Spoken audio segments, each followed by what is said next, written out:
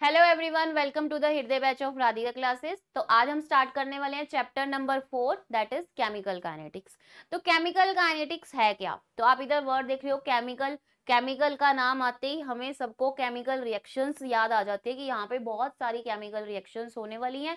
फिर उसके बाद है आपके पास काइनेटिक्स काइनेटिक्स का मतलब होता है मूवमेंट ठीक है? मोशन तो एक केमिकल रिएक्शन जो हो रही है, उसकी मूवमेंट के बारे में पढ़ेंगे कि वो कितनी तेज़ी से होगी, कितना फास्ट होगी या कितना स्लो होगी, उसके बारे में हमने पढ़ना है। तो वो वाली पूरी ब्रांच जो होती है, वो केमिकल काइनेटिक्स के अंडर आती है, ठीक है? तो ये स्टार्टिंग में आपका बिल्कुल एनसीआरटी के जैसे जैसे जैसे पॉइंट्स लिखे हुए हैं वैसे वैसे इनको रीड भी करेंगे और फटाफट से कंप्लीट करेंगे।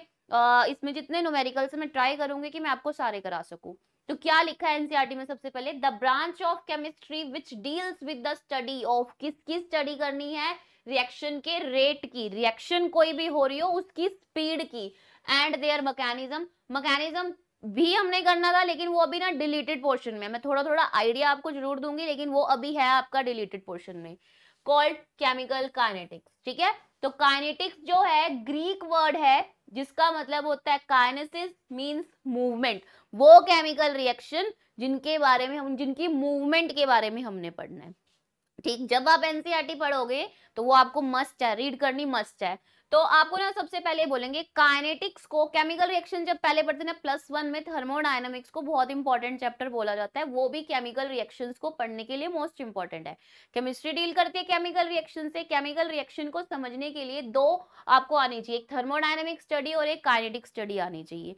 थर्मोडायनेमिक स्टडी ना एक चीज़ बता सकती है हमें, पूरे लॉज जब पढ़ लेते हैं, क्या केमिकल रिएक्शन प्रोसीड होगी या नहीं होगी? Whether this reaction takes place और नॉट ये इसका सबसे इंपॉर्टेंट है। इसमें कैसे different forms of inter energy का हम इंटरकनेक्शन देखते हैं, फिर गिब्स फ्री एनर्जी एंथैल्पी इन सबसे हम बता सकते हैं कि रिएक्शन फिजिबल है या नहीं है। अब फिजिबल है, ठीक है? मान लिया फिजिबल है, हमने पढ़ लिया थर्मोडायनेमिक्स अब काइनेटिक्स में क्या पढ़ना है? कितनी तेज़ी पे होगी, कितनी फास्ट है रिएक्शन ठीक है? तो अभी फिजिबल थी या नहीं? वो थर्मोडायनेमिक्स क्लास प्लस वन बता रहा था। अब वो रिएक्शन प्रोसीड हो रही है चल रही है ट्रांसि वो चल रही है तो वो कितनी तेज है कितनी आ, कितनी स्पीड पे हो रही है उसके बारे में पढ़ेंगे ठीक? तो थर्मोडाइनमिक्स और काइनेटिक्स में आपको ये डिफरेंस ध्यान रखना है। उसके बाद ये कुछ फैक्टर्स हैं जिनके ऊपर क्या होता है rate of reaction speed of the reaction depend होती है। तो अब ध्यान रखना जब हमने कभी भी रिएक्शन की बात करनी है और उसको केमिकल काइनेटिक्स से जोड़ना है सपोज़ मैंने यहाँ पे एक रिएक्शन ली ए प्लस बी अब इसने आगे सी प्लस डी बना दिया। मुझे ये बताना है कि इसकी स्पीड क्या है, ठीक है? इसकी स्पीड क्या है? इन दोनों पे डिपेंड करेगा कि ये कितनी जल्दी आपस में टकराएँगे और सी और डी बनाने की ट्राई करेंगे, ठीक है? टकरा तो रहे हैं, ठीक है? टकराएँगे तो सही, आपस के, इनके बीच में कॉलिजन के बारे में पढ़ना है। वो मैकेनिज्म होता है पूरा का पूरा कि किस तरह से टकराएँगे, क्या कॉलिजन होगा। अभी सिर्फ़ इतना माइंड में रखना है कि जो रिएक्टेंट होते हैं ना, जब उनको हम कोई केमिकल रिएक्शन हो रही है तो वो आपस में एक दूसरे के साथ टकराते हैं। उनको बोला जाता है कि उनके बीच में कॉलिजन हो रही है। ठीक है? हर कोलिजन प्रोडक्ट में नहीं बनती है, लेकिन अभी ध्यान रखो कि ए और बी रिएक्टेंट है, उन्होंने प्रोडक्ट बनाना है। प्रोडक्ट बनाने के लिए उनको आपस में टकराना पड़ेगा। टकराना मतलब कोलिजन होगी, और कोलिजन होगी तो स्पीड बढ़ के प्रोडक्ट बनने के चांसेस हैं, ठीक है? तो कोलिजन मतलब कि दो रिएक्टेंट का आपस में, दो या दो से ज़्यादा रिएक्टेंट का रिएक्टेंट का आपस में टकराना, ठीक है? तो जितना ज़्यादा टकराएँगे उतना ज़्यादा पॉसिबिलिटी है प्रोडक्ट के बढ़ने की, ठीक है, बनने की। तो rate of the factors on which rate of reaction depends on the collision energy ठीक है कॉलिजन पे डिपेंड करेगा उनके टकराने पे, ठीक है। अब टकराने के लिए एटम्स आपस में टकराएँ मॉलिक्यूल्स आपस में टकराएँ तो बाहर से क्या करते हैं, इनको टेम्परेचर दे देते हैं। टेम्परेचर आएगा मोशन होगी, टकरा सकते हैं लाइट दे देते हैं। लाइट आएगी, टकराएँगे सरफेस एरिया, ये सारे प्रेशर लगा देते हैं लाइट दे देते हैं पार्टिकल का साइज़ बड़ा कर देते हैं, ये सारे इनके फैक्टर्स हैं, ठीक है? तो आपने ना सिर्फ़ ध्यान रखना है, जब कभी भी दो रिएक्टेंट के बारे में आपसे पूछा जाए कि दो रिएक्टेंट आपस में प्रोडक्ट बनाते हैं तो किस पे डिपेंड करते हैं फैक्टर्स मेन होता है कॉलिजन एनर्जी क्या वो आपस में टकरा रहे हैं? ट्रांजिट उसके बीच में मोशन हो रही है मोशन होगा, तभी तो अभी मैंने आपको बताया काइनेसिस मींस मोशन मोशन तो होना ही चाहिए, वो टकराएँगे, उसमें से कुछ टकराने के बाद पॉसिबिलिटी है कि प्रोडक्ट बन सकता है प्रोडक्ट बनेगा. तो collision energy is main simple C language में कॉलिजन एनर्जी इज़ मेन अब कॉलिजन कराने के लिए टेम्परेचर लगा दो प्रेशर लगा दो लाइट दे दो, इस तरह से ये हमने सब फैक्टर्स पढ़ने हैं तो ध्यान रखोगे इस बात का. ठीक है? ये इंपॉर्टेंट आपको ध्यान रखना है. अब ना एक बात का ध्यान रखना, जब आप ये पढ़ो एक इसमें आता है कैटालिस्ट मैं आपको कैटालिस्ट बाद में पूरा एक्सप्लेन करूँगी. कैटालिस्ट अभी तक आप पढ़ते आ रहे हो. कैटालिस्ट क्या करता है? Which alters the speed of reaction जो सपोज़ ये रिएक्शन चल रही है, ये 20 मिनट में कंप्लीट होगी. और हम कैटालिस्ट डालें तो हमारे माइंड में आ जाता है कैटालिस्ट तो स्पीड की रिएक्शन को बढ़ा देता है. बट डेफिनेशन क्या बोलती है? Which alters the speed of reaction वो रिएक्शन की स्पीड को बढ़ा भी सकता है वो रिएक्शन की स्पीड को कम भी कर सकता है अल्टर करता है चेंज करता है। जब बढ़ाएगा तो उसको पॉजिटिव कैटालिस्ट बोलते हैं, जब कम करेगा तो नेगेटिव कैटालिस्ट बोलते हैं। तो कैटालिस्ट के टॉपिक को हमेशा ये ध्यान रखना कि ये अल्टर्ड करता है स्पीड को कम ज़्यादा कर सकता है। 20 मिनट में चल रही है तो क्या पता 15 कर दे, क्या पता 25 कर दे। उसका मतलब उस पर डिपेंड करता है और वो पूरा केस मैं आपको पढ़ाने वाली हूँ, ठीक है? तो ये इसके फैक्टर्स है जो आपको ध्यान रखने हैं। अब उसके बाद अब जो हमारी रिएक्शन होती है ना, वो तीन तरह की होती है। एक रिएक्शन जो बहुत फास्ट हो जाती है फास्ट वाली रिएक्शन कैसे हो गई? भाई, नमक लिया, पानी में मिला दिया, एक मिनट में मिक्स हो जाता है, ठीक है? तो फास्ट रिएक्शन है। रस्टिंग ऑफ़ आयरन जंग लग जाता है, कई साल लग जाते हैं जंग लगने में। That is the slow process moderate processes होती है, जैसे कि आप जब लेबोरेटरी में जाते थे, आपने क्लास में जब गए लैब में प्रेसिपिटेशन वगैरह करी तो उनको करने में 10 15 20 25 मिनट या कई रिएक्शन में वन आवर भी रखवा देते थे कि रख दो, इसको डिस्टर्ब मत करो, ऐसे रख दो तो क्रिस्टलाइजेशन वाली प्रोसेसेस पे टाइम भी लग सकता है। तो ऐसा होता है जो रेट ऑफ़ केमिकल रिएक्शन होती है, वो तीन तरह की हो सकती हैं। एक स्लो एक फास्ट एक मॉडरेट इनके एनसीईआरटी e के जो एग्जांपल्स हैं, वो आपको आने चाहिए, ठीक है? मैंने तो जस्ट आपको समझाने के लिए बोला कि इस तरह के एग्जांपल लेकिन आपको एग्जांपल जो हैं एनसीईआरटी वाले आए तो वो बेस्ट है.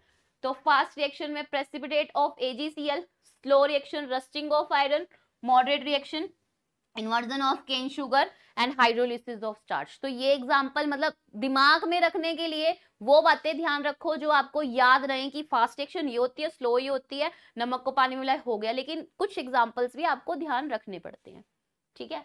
अब उसके बाद ये आपको ध्यान रखना है। अब क्या हो रहा है? आपको एक रिएक्टेंट दे दिया, ठीक है? पहले मैं आपको ये खुद से समझा देती हूँ कि ये है क्या। आपको एक रिएक्टेंट दिया।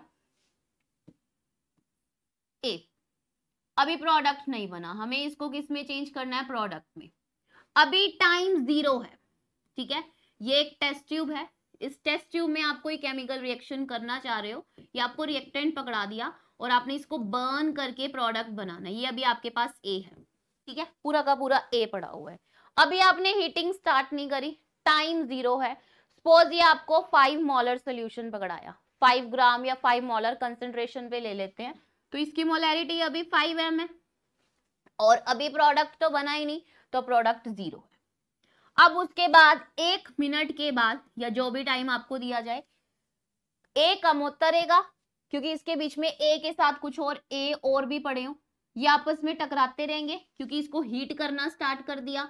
हीट करेंगे कॉलिजन होगी कॉलिजन होगी, आपस में टकराएँगे। टकराने के बाद यहाँ पे कुछ नया प्रोडक्ट बनना है, ठीक है?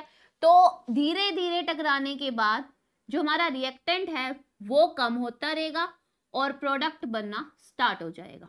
दो मिनट के बाद ये और कम हो जाएगा प्रोडक्ट और बन जाएगा। चार मिनट, तीन मतलब मैं टाइम को इस तरह से स्पेसिफाई करके आपको बता रही हूँ कि एक टाइम ऐसा भी आएगा कि रिएक्टेंट और प्रोडक्ट की कंसंट्रेशन आपस में बराबर बराबर हो जाएगी। फिर उसके बाद ये और कम हो जाएगा और ये बढ़ जाएगा। कुछ देर के बाद इक्विलिब्रियम पॉइंट आ जाएगा और ये स्टेबल कांस्टेंट भी हो जाने वाले आफ्टर इक्विलिब्रियम तो कहने का मतलब क्या है? जब कभी भी स्पीड ऑफ़ रिएक्शन के बारे में पढ़ा जाता है ना तो रिएक्टेंट तो धीरे धीरे धीरे खत्म होता रहता है। विद रिस्पेक्ट टू टाइम और प्रोडक्ट जो होता है वो धीरे धीरे बढ़ता रहता है। एक टाइम ऐसा भी आता है कि दोनों की कंसेंट्रेशन बराबर हो जाए और एक टाइम ऐसा भी आता है कि दोनों की कंसेंट्रेशन जैसे इसकी कम होती जा रही है उसकी बढ़ती जा रही है दोनों की कंसेंट्रेशन कांस्टेंट भी हो जाती है। ठीक है? तो यहाँ पे ये ग्राफ आपको ये दिख रहा है। आ, ये वाला the speed of a reaction और a change of rate of reaction can be defined as change in concentration of reactant reactant की कंसेंट्रेशन भी कम होगी और product in unit time with respect to a time ठीक? ये कोई भी रिएक्शन दे दी कंसिडर अ रिएक्शन ए से बी बन रहा है. The rate of decrease decrease होगी किसकी? रिएक्टेंट की कंसेंट्रेशन रिएक्टेंट धीरे धीरे धीरे धीरे कम होगा, फिर उसके बाद कॉन्स्टेंट हो जाएगा। The rate of increase in concentration और प्रोडक्ट धीरे धीरे धीरे बढ़ेगा और फिर एकदम से कॉन्स्टेंट हो जाएगा। क्लियर है? तो ये ग्राफ यहाँ पे आपने स्टार्ट करना और ये as it is equilibrium chapter में भी था आपका क्लास प्लस वन का। ठीक? उसके बाद अब आगे क्या आता है? अब आपको पता लग गया ग्राफ में कि रिएक्टेंट धीरे धीरे धीरे खत्म होता जा रहा है और प्रोडक्ट हमेशा बढ़ता रहेगा। प्रोडक्ट तो इसको कैसे लिखते हैं? रिएक्टेंट जो होता है, जो हमारा रिएक्टेंट होता है, वो हमेशा क्या होगा? Disappear with respect to time ठीक है? Disappear with respect to time और प्रोडक्ट क्या होगा? Appear with respect to time ठीक है?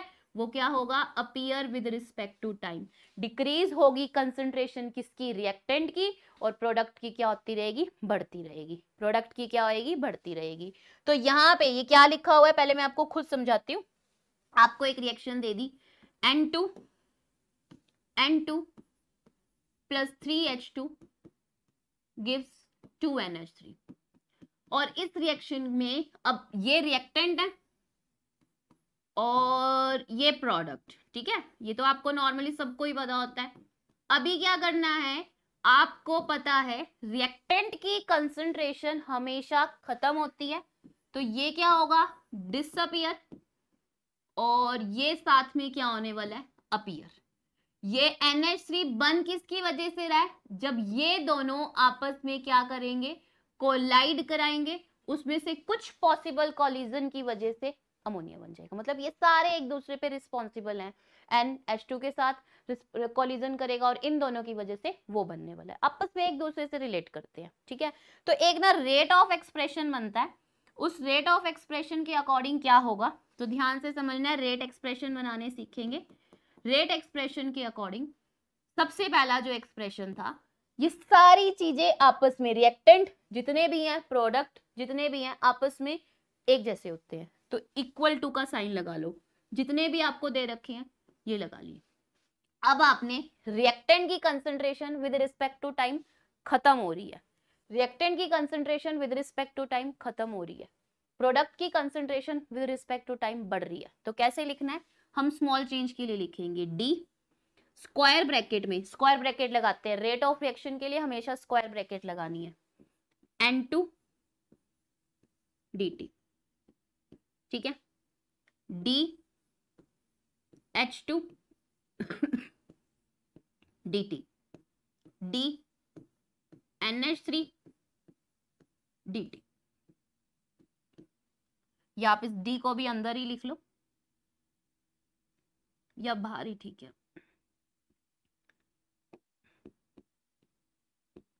ठीक है?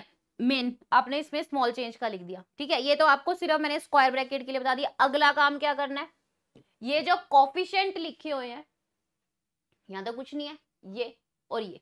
ये कैसे लिख देने वन बाय थ्री फ्रैक्शन में वन बाय टू ठीक?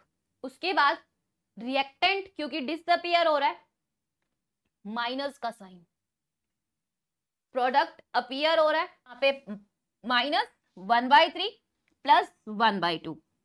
तो ये एक्सप्रेशन आपको यहाँ पे ध्यान रखना है कि माइनस किस लिए लगाना है और प्लस किस लिए लगाना है। ठीक तो अब ये देखो rate of disappearance of A मैंने ये रिएक्शन यहाँ पे कंसीडर करी हुई थी ए से बी बन रहा है। ए डिसअपियर होगा decrease in concentration of A with time taken minus का sign rate of disappearance of B increase in concentration of A ये पॉजिटिव साइन अब आपसे क्वेश्चन पूछ लें. Minus sign with A indicate क्या कर रहा है? कि कंसेंट्रेशन ए की डिक्रीज हो रही है. पॉजिटिव साइन क्या इंडिकेट कर रहा है? कंसेंट्रेशन ऑफ़ बी इंक्रीज हो रही है. अब कई बार ना क्वेश्चन आएँगे. माइनस की साइन की वजह से आप जब न्यूमेरिकल करोगे ना, आपका आंसर नेगेटिव आएगा. ऑब्वियसली आएगा. तो आपने ध्यान रखना स्पीड कभी भी नेगेटिव नहीं जाने वाली. तो अगर आपका साइन नेगेटिव आ रहा है मीन्स आपका आंसर नेगेटिव आ रहा है तो एक माइनस ना अपने आप मल्टीप्लाई करके स्पीड को पॉजिटिव कर लेना। Since A is the negative quantity जो आप निकाल लोगे as concentration of reactant is decreases it is multiplied with minus one तो आपने इसको माइनस वन से मल्टीप्लाई कर देना है। To make the rate of reaction positive quantity तो स्पीड नेगेटिव नहीं होती है, उसको पॉजिटिव बनाना पड़ेगा। तो आप ध्यान रखना, जब आप कोई क्वेश्चन कर रहे हो और आपका आंसर क्या आ रहा है? नेगेटिव आ रहा है। आपका आंसर नेगेटिव आ रहा है। उस नेगेटिव को पॉजिटिव करना पड़ेगा, क्योंकि स्पीड नेगेटिव नहीं होने वाली। तो एक माइनस खुद से मल्टीप्लाई कर देना। ठीक है? तो ये हमने सीख लिया। अब यहाँ पे देखो, आपको बता, मैंने यहाँ पे ये डेल्टा की जगह डी यूज़ कर लिया स्मॉल चेंज के लिए तो आप डेल्टा भी यूज़ कर सकते हो। Same rate expression for chemical reaction C H four delta square bracket C H four delta T minus का sign delta one by two one by minus one by two delta O two तो ये same reaction लिखी हुई है। तो ये अब आपका क्वेश्चन है। ये आपने खुद से करके देखनी है। क्या आप ये रेट एक्सप्रेशन बना पाओगे? अगर आपको कोई डाउट हो तो आप मुझसे पूछ रहे ये वही क्वेश्चन है जो आपके एनसीआरटी में दे रखी है। ये आपको रेट एक्सप्रेशन बनाना आना चाहिए। ठीक है? उसके बाद अब हम क्या पढ़ते हैं? नेक्स्ट आ जाएगा हमारे पास। देखो, क्या होता है, जब कभी भी हमने किसी के रिएक्शन के बारे में पढ़ना है तो क्या ध्यान रखते हैं?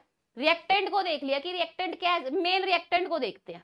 रिएक्टेंट की कंसेंट्रेशन ऐसे ऐसे डिक्रीज हो रही है। यहाँ पे उसकी कंसेंट्रेशन को नोट कर लिया। कितनी थी? यहाँ पे कंसेंट्रेशन दे रखी है। यहाँ पे उसकी कंसेंट्रेट यहाँ पे उसकी यहाँ पे टाइम दे रखा है। यहाँ पे उनकी कंसेंट्रेशन दे रखी है। सी वन कुछ देर के बाद क्या होगी? सी टू ठीक है? सी वन सी टू तो इन दोनों में यहाँ पे टी वन टी टू ठीक? तो एवरेज रेट निकालना हो, ठीक है? एवरेज रेट में क्या करते हैं कि इतना बड़ा गैप देख लेंगे कि यहाँ कंसंट्रेशन क्या थी? कुछ टाइम मैंने बोला 20 मिनट के बाद बताओ कंसंट्रेशन क्या थी? तो 20 मिनट के गैप के बाद 10 पे ये थी 20 पे ये थी नॉर्मली सब कर लेंगे। तो एवरेज रेट में क्या करना होता है कि हमने सिर्फ़ क्या निकालना है? कि कंसंट्रेशन देखना होता है कि कितनी डिक्रीज हो रही है विद रिस्पेक्ट टू टाइम अगली बात जो सबसे इंपॉर्टेंट होती है जिसपे ज़्यादा फोकस किया जाता है instantaneous rate of reaction instantaneous ना स्मॉल गैप के लिए होता है कि इतनी देर में रिएक्शन में क्या फ़र्क आया? इतनी देर में रिएक्शन में क्या फ़र्क आया? नीचे तो जा रही है डिक्रीज तो हो रही है। इतनी देर में क्या चेंज आ रहा है? उसको इंस्टेंटेनियस चेंज बोला जाता है, ठीक है? तो स्लोप से यहाँ से भी निकल जाएगा। स्लोप से यहाँ से भी निकाल लोगे, ठीक है?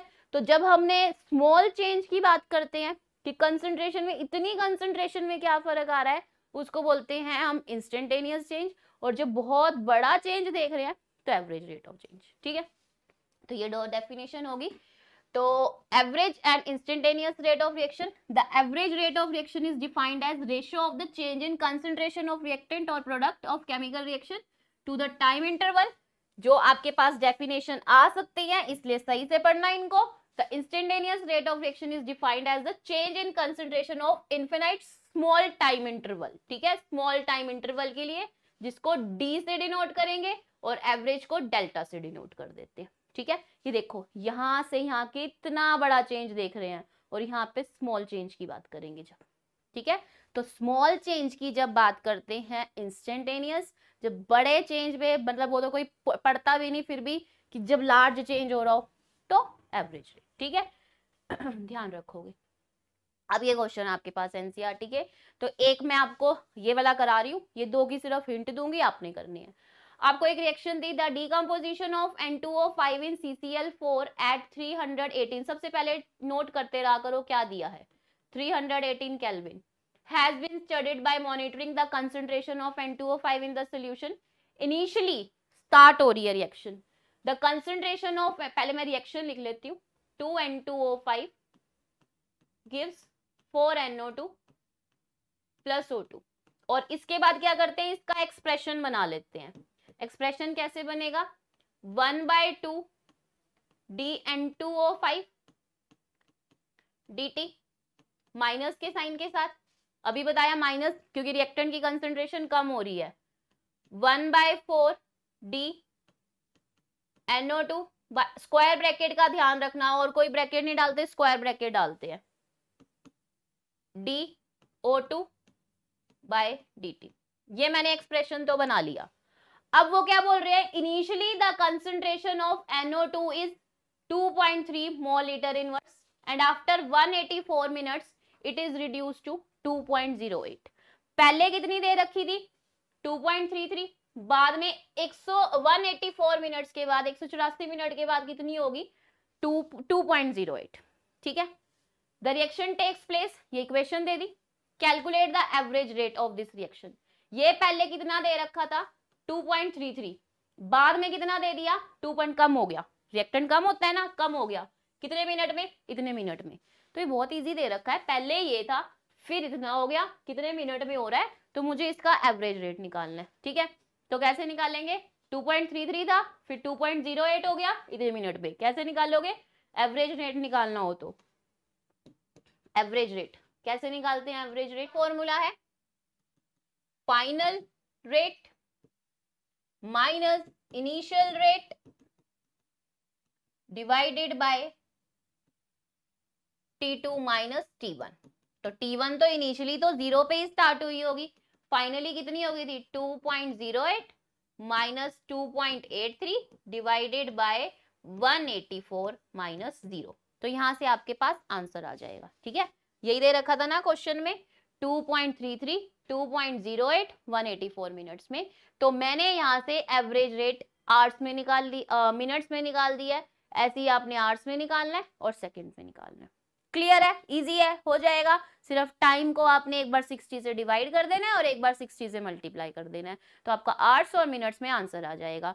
Final minus initial rate divided by T two minus T one यहाँ पे ये बताया हुआ है 184 मिनट्स के बाद कितनी रिएक्शन हो गई? पहले इतनी थी 184 मिनट्स के बाद इत, इतनी कंसंट्रेशन उसकी डिक्रीज हो गई। तो स्टार्ट तो ज़ीरो से ही हुई होगी तो zero one eighty four minus zero ठीक अब उसके बाद अगली लाइन में क्या बोल रहे हैं? What is the production of NO two अब इस चीज़ के बारे में सब हो चुका है। इसके बारे में हम सारा कुछ पढ़ चुके हैं। अब इसको किसके साथ इक्वेट करना है? एनओ के साथ। इसको किसके साथ इक्वेट करना है? NO2 के साथ। ठीक है? तो इसके लिए हमें रेट ऑफ़ एक्सप्रेशन आने चाहिए। इसके लिए क्या आने चाहिए? रेट ऑफ़ एक्सप्रेशन तो वो बोल रहे हैं कि सबसे पहले तो रिएक्टेंट से एवरेज रेट निकाल दो। एवरेज रेट निकालने के बाद उसकी कितनी डिक्रीज हो रही है, हमको पता लग चुका है। अब आप उसके डिक्रीज से ये बताओ कि NO2 बनेगा कितना, ठीक है? तो सबसे पहले तो मुझे इस रिएक्शन को देख एक्सप्रेशन बनाने आने चाहिए। एक्सप्रेशन मैंने बना लिया, यहाँ पे वन बाई टू यहाँ पे फोर हो गया वन बाय फोर हो गया। इसके बारे में कुछ क्वेश्चन ही नहीं है तो इन दोनों को रिलेट करेंगे। तो क्या बनेगा? अब जो क्वेश्चन बन रहा था, ये बन रहा था one by two minus D NO two by D T is equal to plus one by four D NO two by D T ठीक है? तो ये वाला आंसर जो मेरा यहाँ से निकलने वाला है, इसको मैंने सपोज़ ये मेरा आंसर जो मैंने यहाँ से सोल्व किया, ये मेरा आंसर आ गया एक्स ठीक है? ये मेरा आंसर आ गया एक्स ये आपने सॉल्व करने हैं, ये आंसर आ गया एक्स अब उसके बाद उसको यहाँ पे पुट कर दो, क्योंकि एनओ टू की कंसेंट्रेशन टाइम तो मैंने यहाँ से ले ही लिया है। तो उसको यहाँ पे पुट कर दो। उसकी वैल्यू को हमने एक्स ले रखा है। आगे क्या बचा हुआ है? वन बाय टू इधर से आंसर निकाल के रखा, इधर आ जाएगा X is equal to minus का साइन यहीं पे है। Plus one by four D NO two by D T अब मुझे क्या करना है? मुझे एवरेज रेट निकालना है किसका? D NO two by D T का। यही बोल रहे हैं ना क्वेश्चन में? Calculate what is the rate rate निकालो एनओ टू का प्रोडक्शन का। तो मुझे क्या करना है? मुझे ये चीज़ निकालनी है। ये चीज़ निकालने के लिए फोर को इधर भेज दो। क्या बन जाएगा? Minus one by two into में फोर और एक्स की वैल्यू, ये वाली वैल्यू यहाँ से एवरेज रेट निकाल के आ जाएगी, जिसको हमने एक्सलेट कर रखा है। Is equal to D NO two by D T. ठीक है? तो यहाँ से आप इसको सॉल्व कर लोगे। टू एक्स आपका आंसर आ जाएगा, बट ये आंसर माइनस में आएगा। एक माइनस आपने और साथ में मल्टीप्लाई करना है, क्योंकि आपका रेट कभी भी नेगेटिव नहीं होता है, उसको पॉजिटिव बनाना पड़ेगा। क्लियर है कि किस तरह से सॉल्व करना है। अब आगे देखो नेक्स्ट क्वेश्चन क्या दे रखा है? एक और करा रही हूँ लास्ट वाला आप अपने आप करोगे। फॉर अ केमिक रिएक्शन ए से बी बन रहा है। The concentration of reactant changes from 0.03 से 0.04 हो रही 0.02 हो रही है 25 मिनट्स में। इनिशियली कितनी थी? 0.03 फाइनली कितनी होगी? 0.02 कितने मिनट्स में हुई? टाइम को स्मॉल टी से लिया करो। कितने मिनट्स में? 25 मिनट्स में। हमने निकालना है एवरेज रेट 25 मिनट बहुत ज़्यादा हो जाते हैं। तो ये एवरेज रेट आपने निकालना है मिनट्स में और सेकंड में। बहुत इजी है ये तो। Final minus initial 0.05 minus 0.03 divided by 25 minus zero. और इस मिनट्स को सेकंड में भी चेंज कर लेना। अब लास्ट वाला क्वेश्चन आप खुद करोगे। यहाँ पे आपने ये देख लेना है कि किस तरह से होगा। फिर भी अगर आपको कोई डाउट हो तो आप मुझसे पूछ सकते हो। आप इस क्वेश्चन को नोट कर लेना, ठीक है? अगर कोई भी डाउट है, पूछ लेना। In a chemical reaction two A से प्रोडक्ट बन रहा है। इस टू का कोई काम नहीं है। ए से प्रोडक्ट बन रहा है। ए की कंसेंट्रेशन 0.5 से 0.4 हो रही है 10 मिनट के अंदर। कैलकुलेट द रेट उसका रेट निकालो। ठीक? इजिली हो जाएगा। ठीक? अब उसके बाद लॉ ऑफ़ मास एक्शन। अब हम स्टार्ट करते हैं लॉ ऑफ़ मास एक्शन के बारे में। इसके अकॉर्डिंग मतलब ना, मैंने अभी तक जितना पढ़ाया ना, और इतना आप भी ध्यान रखना, जब कभी भी कोई केमिकल रिएक्शन की स्पीड की बात होती है ना, उसमें रिएक्टेंट इंपॉर्टेंट होता है। रिएक्टेंट पे रिएक्शन डिपेंड करती है। जब रिएक्टेंट पड़ा ही रहेगा, वो हिलेगा ही नहीं तो प्रोडक्ट बनेगा कैसे? तो रिएक्टेंट इज़ मेन यही लॉ ऑफ़ मास एक्शन ने बताया था। This law states that rate of any chemical reaction is proportional to the product of masses of reactant reacting species तो मेन क्या होगा? रिएक्टिंग स्पीशीज वो मेन होने वाली है। जितने भी आपको रिएक्टेंट दे रखे होंगे, उनका प्रोडक्ट ठीक है? Which is with with each mass raise to power equal to the coefficient ठीक? तो अब आपने क्या ध्यान रखना है? जब कभी भी कोई केमिकल रिएक्शन इक्लिबिरियम में होती है तो इस तरह के एक्सप्रेशन बनाए जाते थे। प्रोडक्ट को ऊपर रख के रिएक्टेंट को नीचे, मैं इक्लिबिरियम को एक्सप्लेन नहीं करूँगी, क्योंकि फिर उसमें बहुत टाइम लग जाएगा। तो रिएक्टेंट ऊपर रख ले प्रोडक्ट को ऊपर रख लेते थे और रिएक्टेंट को नीचे और उनके जो कॉफिशियंट होते थे पावर बना देते थे, ठीक है? जो कि हमने प्लस वन में किया। अब मुझे सिर्फ़ आपको एक बात का बताना है। लॉ ऑफ़ मास एक्शन क्या होता है? मैं एक ही रिएक्शन को बाहर बार लेके चलती हूँ। आपको दिया N two plus three H two gives two N H three आपसे पूछा इसकी स्पीड तो according to law of mass action ठीक है? जो लॉ ऑफ़ मास एक्शन था ना, वो केमिस्ट्री में केमिकल इक्लिब्रियम में सबसे पहले एक्सप्लेन किया था। वहाँ पे हमने केपी केसी के एक्सप्रेशन किए थे, वहाँ से आया था। लेकिन मैं पूरा ना एक्सप्लेन करके सिर्फ़ आपको ये बताऊँगी, क्या बोलते हैं? रेट मतलब speed of a chemical reaction is directly proportional to the product of reactant जो रिएक्टेंट है, उनका प्रोडक्ट ये with raise to the power their stoichiometric coefficient ये जो आगे स्टिशोमेट्रिक कॉफिशियंट दे रखे हैं ना, ये, यहाँ तो कुछ नहीं दे रखा ये ये इनकी पावर बना दो। प्रोडक्ट को देखो ही मत, ठीक है? प्रोडक्ट को देखो ही मत। अभी आपने ये देखना है। ठीक लॉ ऑफ़ मास एक्शन के अकॉर्डिंग जो आपका स्पीड है रिएक्शन की, किस पे के डायरेक्टली प्रोपोर्शनल है? प्रोडक्ट ऑफ़ ये प्रोडक्ट में लगा दिए रिएक्टेंट और ये जो उनका कॉफिशियंट ये स्टीशियोमेट्रिक कॉफिशियंट है, यहाँ पे उसकी पावर बना देंगे ये लॉ ऑफ़ मास एक्शन के अकॉर्डिंग था। इसको हटाने के लिए रेट कांस्टेंट रेट मतलब speed is equal to constant K n to जो भी आपको केमिकल रिएक्शन दी हो। एच टू विद रेस जो भी केमिकल रिएक्शन जो भी स्टेशियोमेट्रिक कॉफिशियंट हो, वो लिख दो। ठीक है? उसके बाद अब आता है factors influencing rate of the reaction ये डबल डबल हो गया। ठीक? Dependence of the rate of concentration the representation of rate of reaction in terms of concentration of reactant is known as rate law अभी ना क्या हो रहा था? जब कोई केमिकल रिएक्शन दी जाती थी, उस केमिकल रिएक्शन में जैसे मैंने आपको N2 और H2 वाली दी अमोनिया बनाया, मैंने ऊपर पावर लगा दी थ्री जब इसको एक्सपेरिमेंटली करने की ट्राई किया ना, क्या तीन हाइड्रोजन के मॉलिक्यूल्स चाहिए होंगे? तो ये आ नहीं रहा था आंसर ऐसे, ठीक है? तो क्या हुआ? एक्सपेरिमेंटली कुछ और आंसर आने लगे। थियोरिटिकली तो हमें ये लग रहा था कि जो दिख रहा है वो लिख दो। मास एक्शन के अकॉर्डिंग जो दिख रहा है वो लिख दो। लेकिन जब इसकी स्पीड निकालने की कोशिश करी गई कि हाइड्रोजन क्या इतने चाहिए भी या नहीं चाहिए? क्या आप तो चाहिए भी हो, लेकिन इसको एक्सपेरिमेंटली भी तो करना पड़ेगा। तो ऐसा आंसर आ नहीं रहा था। ये पावर कुछ और आ रही थी, ठीक है? तो अब ना रेट लॉ ने क्या एक्सप्लेन किया? It is the expression in which rate reaction rate is given in terms of molar concentration मतलब मोलैरिटी की बात करनी है ऑफ़ रिएक्टेंट जिसमें सिर्फ़ आपको रिएक्टेंट लेने हैं। प्रोडक्ट की बात ही नहीं करेंगे हम।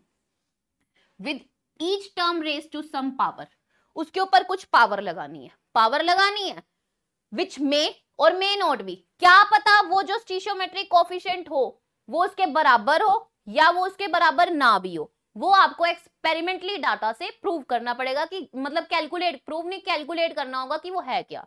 Which may or may not be the same stoichiometric coefficient of the reacting species in a balance chemical equation ठीक है? तो सबसे पहले तो आपको रिएक्शन की बैलेंसिंग आनी चाहिए।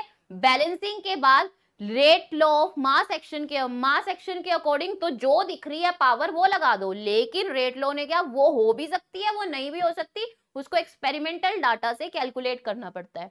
Rate law of any reaction can not be predicted merely by looking at the balance chemical equation ये नहीं कि केमिकल रिएक्शन देखी पावर लगा दी। It that is theoretical but must be determined experimentally आपको इसको एक्सपेरिमेंटली डिटरमाइन करना पड़ता है। तब हम सीखेंगे कि हमने इसको निकालना कैसे है। ठीक है? तो कैसे निकालना है? सपोज़ ये क्वेश्चन दे दिया आपको, इस क्वेश्चन में ये बता दिया कि एक्सपेरिमेंट हुए एक, दो, तीन, चार। एरर ना आ जाए, इसलिए बार बार कंसेंट्रेशन चेंज चेंज करके उन्होंने एक्सप्रेशन बनाए कि ये रिएक्शन ऐसे हो रही है। ठीक है? और ये ए है और बी और ये आपको बता दिया क्या बन रहा है। The following result have been obtained using the chemical study of the reaction तो हमारे पास जो रिएक्शन दे रखी है two A plus B give C plus D C plus D बन रहा है। ठीक है? अब ए बी सी एक, दो, तीन, चार। चार बार ये रिएक्शन करके देखी। और उन चारों कंसंट्रेशन चारों में क्या किया? कई बार ए की कंसंट्रेशन को चेंज कर दिया, कई बार बी को, कई बार अलग अलग कंसंट्रेशन भी उनको चेक किया। क्या हमें पता लगेगा? ठीक है? तो एक्सपेरिमेंटल डाटा को करने से पहले आपको लिखना है रेट इज़ इक्वल टू के ए और बी ये अकॉर्डिंग टू रेट लो है। According to rate law. Mass action होता तो मैं तो ए के ऊपर पावर लगा देती टू लेकिन अभी तो पता ही नहीं है कि वो है क्या, वो तो हमें प्रूव करनी है। तो इसलिए उसको क्या ले लिया? एक्स और वाई क्या ले लिया? एक्स और वाई क्लियर है? एक्स और वाई अब मुझे ना क्या करना है? इस एक्स और वाई की वैल्यू को कैलकुलेट करना है। इस डाटा का यूज़ करके कि एक्चुअल में उनकी पावर क्या है? मे बी इसके इक्वल आ जाए। मे बी इसके इक्वल ना आए। अब मैंने ये पूरा एक्सप्रेशन बना दिया रेट प्रोडक्ट को देखते हैं। रिएक्टेंट छोड़ दो। यहाँ पे कुछ पावर है, वो पावर वन भी हो सकती है टू भी हो सकती है एक्सपेरिमेंटल डाटा का यूज़ करके उसको निकालो, ठीक? तो अभी ना, सबसे पहले, अब ऐसे ध्यान रखना, अगर मुझे ए निकालना है या मुझे बी निकालना है, सबसे पहले ये देखा करो कहाँ कंसेंट्रेशन सेम है। जैसे आपको दिख रहा है दो बार ए सेम है, दो बार बी सेम है, ठीक है? इनको उठाया करो सब। वैसे तो आप किसी को भी पिक करके यहाँ रख सकते हो, लेकिन इन पे पहले फोकस किया करो। तो अब करना क्या है? पहले ए को लेते हैं। ए की कंसेंट्रेशन दो बार सेम आ रही है तो मतलब ये दो एक्सप्रेशन बन गई ठीक है? अब आपने क्या करना है? यहाँ पे लिखो रेट थर्ड जिन दो को लिया मैंने, इन दोनों को लिया हुआ है। एक रेट थर्ड डिवाइडेड बाय ऐसे डिवाइड करना है। रेट सेकंड ठीक है? ये बनाओगे, सबसे पहले, सबसे पहला स्टेप हो गया। अब रेट थर्ड में यहाँ पे एक्सप्रेशन ये रहा रेट का एक्सप्रेशन इसको ध्यान से देखना रेट थर्ड रेट लिखोगे? यहाँ पे थर्ड इज़ इक्वल टू के ए ए के ऊपर एक्स बी के ऊपर वाई ठीक है? फिर रेट इसको दोबारा से बता रही हूँ रेट फोर के ए ए के ऊपर एक्स उसकी पावर एक्स बी की पावर वाई क्लियर है? अब मैंने सिर्फ़ वैल्यू पुट करनी है. ठीक? ये आ गया।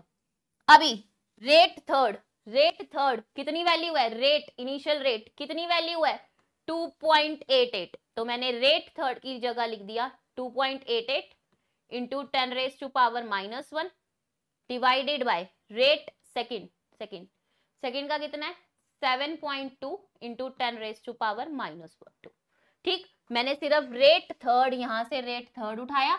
यहाँ लिख दिया रेट सेकंड यहाँ से उठाया, यहाँ लिख दिया। अब आगे के नीचे भी क्या लिखा हुआ है? के ये बना दिया। ए ए की कंसेंट्रेशन सेकंड थर्ड के केस में 0.3 0.3 ऊपर एक्स लिख दो। बी की कंसेंट्रेशन सेकंड के केस में 0.3 बी की कंसेंट्रेशन यहाँ पे 0.4 वाई सेकंड के केस में ए की कंसेंट्रेशन 0.3 एक्स लिख दो। बी की कंसेंट्रेशन 0.2 यहाँ पे ये लिख दो। आई होप ये आपको क्लियर होगा कि किस तरह से मैंने लिखा है। मैंने सिर्फ़ क्या ट्राई किया, मुझे ये बताना है mass law of mass action तो बोल देता है कि जो पावर आ रही है जो आगे कोफिशियंट है, उसको पावर बना दो। रेट लो ने क्या, वो नहीं है पावर पावर ढूंढनी पड़ेगी एक्सपेरिमेंट एक्सपेरिमेंट डाटा से। एक्सपेरिमेंट डाटा दे दिया कि पावर ढूंढो और बताओ क्या है। सबसे पहले मैंने ये चूज़ किया कि मैं एक्सपेरिमेंट डाटा कौन सा सिलेक्ट करूँ। उसको सिलेक्ट करने के लिए मैंने वो दो वैल्यू चूज़ करी जहाँ पे मुझे सेम लग रहा था ताकि मेरी कैलकुलेशन ईजी हो सके। मैंने सेकंड और थर्ड में एक ही कंसेंट्रेशन को सेम देखा। तो मैंने सेकंड और थर्ड थर्ड को सेकंड से डिवाइड कर दिया। अब थर्ड को ऊपर और सेकंड को इसलिए नीचे रखा क्योंकि मुझे यहाँ पे ये भी देखना था कि कौन सा बड़ा है, कौन सा छोटा है। फोर बड़ा था टू छोटा था, उसको नीचे रख के लोअर डिजिट इस तरह से कर लिया। बाकी आप जैसे मर्ज़ी कर सकते हो। ये किया सबसे पहले। ये एक्सप्रेशन मैंने ऊपर से पिक करके नीचे रख दिया। Rate third is equal to K ऐसे divided by rate second rate की वैल्यू 2.88 रेट सेकंड की वैल्यू 7.2 के और के ऐसे ही रहने दिया। ए की वैल्यू यहाँ से उठाई थर्ड के लिए 0.3 ब्रैकेट में डाल के एक्स लिख दिया। इसकी उठाई 0.4 ब्रैकेट में डाल के वाई लिख दिया। फिर ऐसे ही 0.3 और 0.2 अब मुझे साफ़ पता लग रहा है कि अगर मैं इसमें थ्री से थ्री कट कर दू, ये कट हो जाएगा। के से के कट हो जाएगा। इसकी कटिंग करोगे, ये फोर पे जाएगा। ठीक है? इसकी कटिंग करोगे, ये टू पे जाएगा। ठीक है? मैथ्स आपको करना पड़ेगा, ये ध्यान रखना। अब मेरे पास आंसर बचेगा फोर यहाँ पूरा कट करने के बाद टू और उसकी पावर वाई ठीक? अब इसको ऐसे लिख सकते हैं two two two two the four ये पावर बना दी टू वाई तो वाई की वैल्यू क्या हो जाएगी? टू वाई की वैल्यू क्या हो जाएगी? तो दिस इज़ द आंसर कि वाई मेरा टू आ चुका है। वाई मेरा क्या आ चुका है? टू आ चुका है। क्लियर है? तो कुछ मुश्किल नहीं है, सिर्फ़ आपको रेट को सिलेक्ट करना आना चाहिए कि आपने किस तरह से उसको सिलेक्ट किया। ठीक? कर लोगे सिलेक्ट किस तरह से सिलेक्ट करना है? सिर्फ़ कौन सा? ज़रूरी नहीं है कि डाटा सेम देखो। अगर आपकी कैलकुलेशन बहुत अच्छी है, बहुत ही ज़्यादा अच्छी तो जिस मर्ज़ी से यूज़ कर लो आंसर सेम ही आते हैं। बट होता यही है कि सेम को सिलेक्ट करो ताकि आप कटिंग कर सको और आपको इजीएस्ट मेथड से आप इनके आंसर निकाल सको। तो मैंने y की वैल्यू टू निकाल ली है। अब यहाँ से सेम रखते हैं। मतलब वन और वन इनको सेम रखते हैं।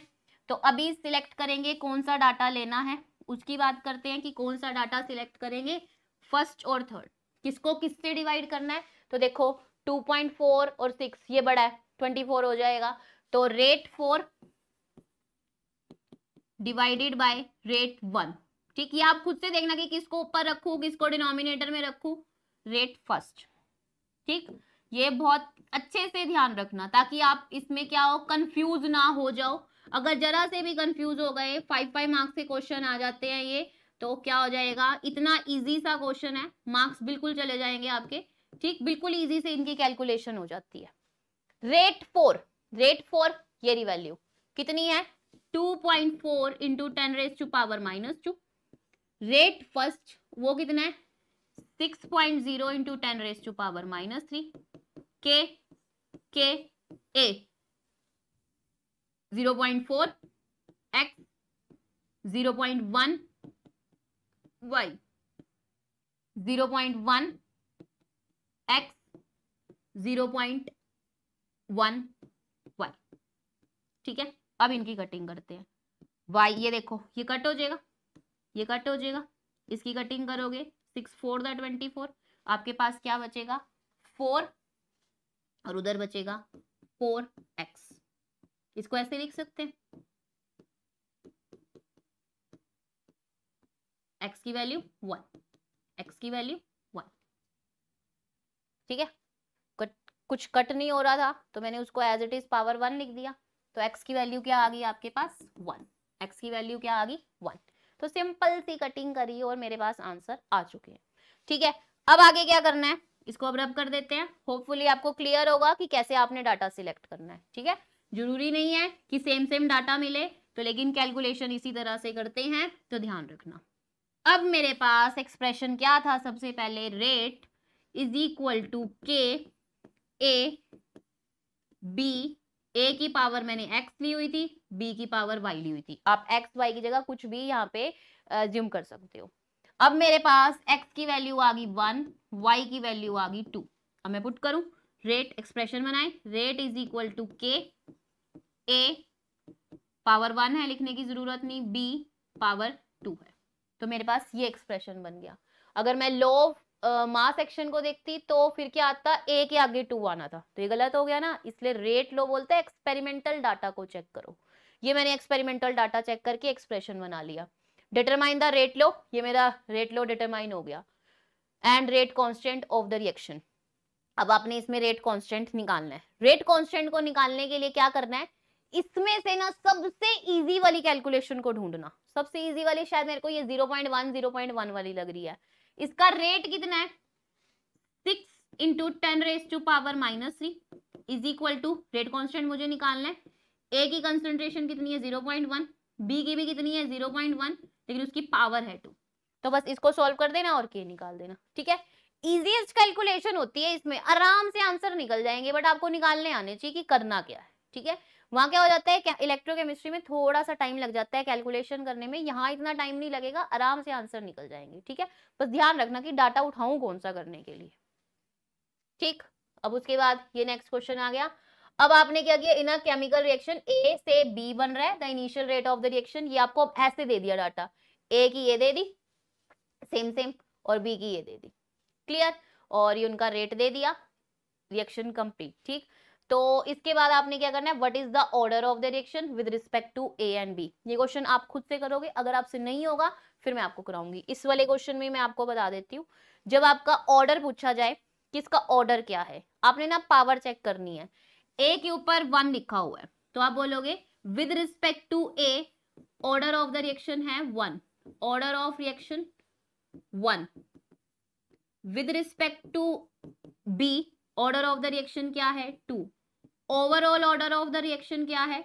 वन प्लस टू थ्री ठीक है? ऑर्डर में आपको बाद में बताऊँगी कि ऑर्डर होता क्या है। बट अभी आपको ये ध्यान रखना है कि अगर आपसे पूछ लें कि ऑर्डर क्या है तो वो जो उनकी पावर निकल रही है ना, वो उसका ऑर्डर होता है। ऑर्डर निकाल दो। ए का ऑर्डर वन बी का order two total order overall order of the reaction उन दोनों को प्लस कर दो, आपका आंसर आ जाएगा। क्लियर है? तो ये क्वेश्चन आपने खुद से करना है। अब ये मैं, ये वाला खुद से करोगे, ठीक? अगर कुछ प्रॉब्लम हो तो पूछ लेना। जैसे आपको कैलकुलेशन सिखाई, वैसे करनी है। The chemical reaction between A and B is first order with respect अब उन्होंने ना ये बता दिया आपको। Rate is equal to A and B इन दोनों के बीच में हो रही है। ए इज़ फ़र्स्ट ऑर्डर या वन है, यहाँ ज़ीरो है। ये ज़ीरो ऑर्डर की है with respect to B fill in the blanks with of the following table मुझे ऑर्डर पता लग चुका है। मुझे वही उल्टा करना है अभी। पावर पता है? पावर से हमने कंसंट्रेशन निकालनी है। तो पहले दो सिलेक्ट कर लेते हैं। मैं इस ब्लैंक को फिल करूँगी, बाकी ब्लैंक आपने खुद फिल करनी है। ये वाला ब्लैंक फिल करके दिखा रही हूँ। तो अभी ये वाली पावर बड़ी, ये बड़ा नंबर है, ये छोटा नंबर है तो करेंगे rate second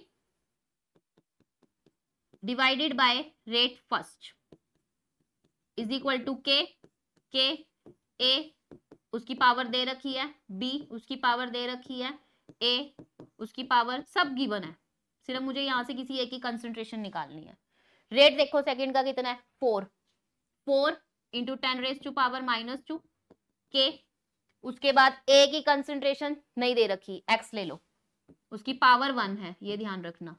बी बी की कंसेंट्रेशन दे रखी है ज़ीरो पॉइंट टू उसकी पावर टू है ज़ीरो है।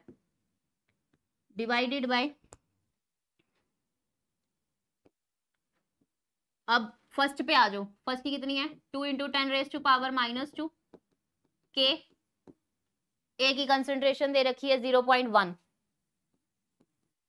one B की कितनी दे रखी है? ज़ीरो पॉइंट वन लेकिन उसकी पावर कितनी है? Zero anything raise to power zero one होता है।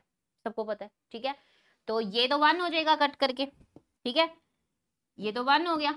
क्या बचेगा? Four into ten raise to power minus two two into ten raise to power minus two K से के कैंसिल ये वन हो जाएगा. कट करके इधर वन कर देंगे. कट कट नहीं करते इनको वन लिख देते हैं. X zero point one multiply one multiply one clear है? यहाँ पे क्या कर दिया? अब इसको इधर शिफ्ट कर दो. Four into ten raise to power minus two into में zero point one divided by two into ten raise to power minus two is equal to X clear है? माइनस टू से माइनस टू कैंसिल यहाँ two आ जाएगा। इसको इससे multiply करेंगे concentration हो जाएगी ज़ीरो पॉइंट टू सॉरी ठीक है? तो यहाँ पे फिलअप हो चुका है मेरा ज़ीरो पॉइंट टू बाकी आपने फिल करने हैं। ठीक है? बाकी आप फिल करोगे कि किस तरीके से फिल करने हैं। होपफुली हो जाएँगे। फिर भी बोल रही हूँ, कुछ प्रॉब्लम हो तो पूछ लेना। ठीक? अब उसके बाद रेट कांस्टेंट रेट कांस्टेंट ये जो के निकालते हो. The rate constant is denoted by K it is also known as reaction rate constant or reaction rate coefficient it is dependent on the temperature ठीक है? ये कोई भी केमिकल रिएक्शन होगी रेट कांस्टेंट किस पे डिपेंड करता है? टेम्परेचर पे. ठीक? इतना ध्यान रखना ही क्वेश्चन आ सकता है. तो कोई भी केमिकल रिएक्शन है रेट लॉ के अकॉर्डिंग हम उसका ऑर्डर निकालते हैं तो ये कोफिशियंट जो है ए और बी नहीं होंगे एक्स और वाई कुछ भी हो सकते हैं, और इसको हटाने के लिए के के रिएट कॉन्स्टेंट है which is depend on the temperature of the reaction clear तो ये ध्यान रखना है। Order of a reaction the sum of power of concentration ये जो आपको यहाँ पे ए और बी नहीं एक्स और वाई जो दे रखे होते हैं पावर होगी कि कितना कंसेंट्रेशन ऑफ़ रिएक्टेंट की रिक्वायरमेंट है। ठीक है? कितनी रिक्वायरमेंट है जो कि एक्सपेरिमेंटल डाटा से पता लगता है। देख के नहीं पता लगता एक्सपेरिमेंटल डाटा से पता लगता है। उनका जब सम कर देते हैं the sum of power of concentration of the reactant in the रे ये सबसे इंपॉर्टेंट है। Rate law expression is known as chemical is known as order of the chemical reaction तो जो यहाँ पे आप एक्सपेरिमेंटल डाटा से निकाल लोगे आपने क्या करना है? बस उनका सम कर देना ठीक है? एक्सपेरिमेंटल डाटा से। A reaction is first order in A and second order in B. ये आपको A और B दे दिया। इससे प्रोडक्ट बन रहा है। अब वो ना आपको डायरेक्ट बोल रहे हैं। Rate directly proportional to A first order and B is of second order ये एक्सप्रेशन बन चुका है। डायरेक्टली प्रोपोर्शनल को हटा के भी के लगा देते हैं। कांस्टेंट लगा दिया। ठीक है? ये बन गया। सबसे पहले तो ये काम कर लेना। Right the differential rate equation ये मैं बना चुकी हूँ। डिफरेंशियल रेट एक्सप्रेशन के क्वेश्चन आ जाए ना तो कई बारी ना हम कंफ्यूज हो जाते हैं कि दिया क्या हुआ है क्वेश्चन के अंदर। तो वो जो फ़र्स्ट एक्सप्रेशन था ना, जिसमें वन बाय टू करके वो माइनस पावर फिर पॉजिटिव वो जो आपको मैंने सबसे पहले रेट ऑफ़ एक्सप्रेशन बनाने सिखाए, अब वो भी लिख देना। ये भी एक्सप्रेशन बना के आ जाना, और वो जो फ़र्स्ट टाइम आपने बनाया था, ऐसे वाला, कि one by A D sorry D A by D T minus is equal to D B by D T तो ये वाले एक्सप्रेशन भी बना के आ जाना, ठीक है? मौका मत देना एग्जामिनर को कि आपके मार्क्स कट करें, ठीक? ये दोनों एक्सप्रेशन आपने बना लेने हैं। उसके बाद सेकेंड पार्ट क्या है? How is the rate affected और increasing the concentration of B three times ठीक? तो ये मेरा केस वन है, ठीक? जो केस वन नहीं है, इसको रेफरेंस ले लो। ये आपका रेफरेंस है। अब केस वन वो बोल रहे हैं कि कंसेंट्रेशन रेट कितना इफ़ेक्ट होगा जब कंसेंट्रेशन बी की तीन गुना बढ़ा देंगे? तो इसी में कर दो बस रेट इज़ इक्वल टू के ए का तो कुछ नहीं बोला, ऐसे ही रहने दो। बी की कंसेंट्रेशन को थ्री टाइम्स इंक्रीज कर रहे हैं three B power two three three the nine क्योंकि थ्री की पावर है ना थ्री थ्री दा नाइन तो बाकी सारा तो सेम हो जाएगा। क्या बनेगा? क्या बनेगा यहाँ पे? Rate k A one nine B two. ये बाहर कर दिया। इस नाइन को आगे ले जाओ। रेट नाइन के ए बी टू। तो कितने टाइम्स इंक्रीज हो रही है? नाइन टाइम्स कितने टाइम इंक्रीज हो रही है? नाइन टाइम्स अगला क्वेश्चन है how is the rate affected when the concentration of both A and B are doubled दोनों की कंसेंट्रेशन को डबल कर दिया। तो इस एक्सप्रेशन में पुट करते हैं। रेट डायरेक्टली प्रोपोर्शनल टू, यहाँ पे कर दे, two A one, two B two इधर टू टू टू को उसमें टू ही रह जाएगा, टू टू द फोर, ठीक है? टू और यहाँ पे फोर। कितने टाइम इंक्रीज हो जाएगी? एट टाइम्स कितने टाइम क्योंकि प्रोडक्ट करना है ना, यहाँ से टू आ गया, यहाँ से two two the four, two into four eight times clear है? हो जाएगा? इजी है? और इस टाइप के क्वेश्चन भी पेपर में आते हैं। ये क्वेश्चन आप खुद करोगे? चलो एक मैं ही करा देती हूँ। Four chemical reaction A plus B gives P product बन रहा है। आपको रेट एक्सप्रेशन रेट लॉ के अकॉर्डिंग आपको एक्सप्रेशन एक्सपेरिमेंटल डाटा से जो मैंने बनाने सिखाई, उन्होंने अपने आप ही दे दिए। ये दे दिया। अब आपसे क्या पूछ रहे हैं? What is the order of the reaction तो इस तरह का क्वेश्चन आ जाए ना। पहले बताओगे। ए का ऑर्डर हाफ़ है। बी का ऑर्डर टू है। ओवरऑल ऑर्डर भी बताना मतलब आप पूरा बताना। ओवरऑल ऑर्डर इस तरह से प्लस कर देना इनको, ठीक है? आप ए का भी अलग से बता के आओ बी का भी बताओ ओवरऑल भी पूछो उन्होंने चाहे ओवरऑल ही है, लेकिन पूरा बता के आना, ठीक है? इस तरीके से। A conversion of molecule X to Y X से वाई बन रहा है। फॉलोज सेकेंड ऑर्डर काइनेटिक्स मतलब rate is equal to rate किस पे डिपेंड होता है? रिएक्टेंट पे with race to some power और वो उन्होंने बता दिया कि सेकेंड ऑर्डर है मतलब टू है। रेट के एक्स ये two if the concentration of S X is increase three times अब इसकी कंसेंट्रेशन को थ्री टाइम्स अलग से करके लिख लेते हैं। थ्री टाइम्स इंक्रीज कर दिया। थ्री टाइम्स इंक्रीज कर दिया। थ्री थ्री जा? नाइन तो rate is equal to nine k X square तो कितनी स्पीड बढ़ जाएगी? Three times increase to three times how will the rate of reaction rate of formation of Y तो formation तो उसकी three time nine time increase three times नहीं nine time increase हो जाएगी। Three three the nine clear है? ध्यान रहेगा ना कि कैसे करना है। फिर उसके बाद है reaction is second order with respect to the reactant how is the reaction of rate affected if the concentration of reaction एक बार वो डबल हो रही है एक बार हाफ़ हो रही है। तो एक्सप्रेशन क्या बनेगा? रेट इज़ इक्वल टू के ए और सेकेंड uh, ऑर्डर की है। एक बार उसकी कंसेंट्रेशन डबल हो गई। और एक बार उसकी concentration is reduce to half तो एक्सप्रेशन क्या बनेंगे? Rate k A two rate is equal to k A two और जो उन्होंने बोला है, अब बीच में ऐड कर देते हैं। Concentration of reaction is doubled to A और हाफ़ क्या बन जाएगा? ये two two two the four पूरा एक्सप्रेशन सेम फोर और यहाँ पे वन बाय फोर ठीक? बाकी सारा सेम रहने वाला है। क्या रहेगा? रेट फोर के ए स्क्वायर रेट के ए स्क्वायर ठीक है? फोर टाइम इंक्रीज हो जाएगी। One by four times decrease हो जाएगी। क्लियर है? तो ये भी आपसे हो जाना चाहिए। ठीक है? अब उसके बाद यहाँ पे क्या करेंगे? बस अब इतना छोड़ देते हैं। इसके बाद का नेक्स्ट क्लास में करेंगे। ठीक है? नेक्स्ट क्लास में। तो आई होप आपको क्लियर होगा। हर एक डेफिनेशन को प्रॉपरली देखना और जितने क्वेश्चन कराए हैं, जो मैंने बीच में स्किप किया, सारे क्वेश्चन अच्छे से करना। ठीक है? बहुत इजी चैप्टर है, आराम से हो जाएगा। ठीक? Okay thank you